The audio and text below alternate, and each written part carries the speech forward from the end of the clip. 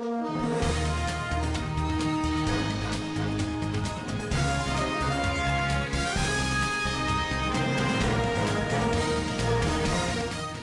will be praying for DJ Fresh.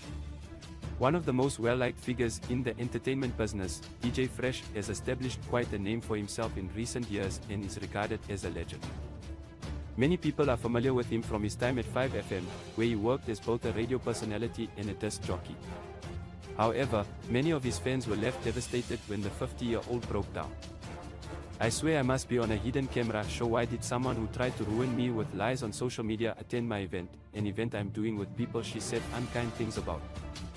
And I guess it's a coincidence that they left just as I'm leaving and were in an elevator as I got in despite my delaying to make sure we don't share an elevator, said the DJ. A few months ago, the South African legend was accused of rape and was jailed. Since then, both stars have cleared their names and received restitution, but it appears that the accusers are not ready to let him move on with his life just yet.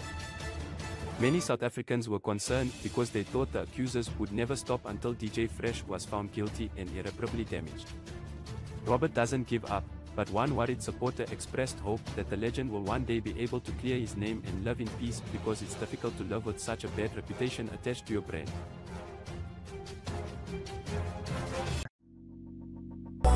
call.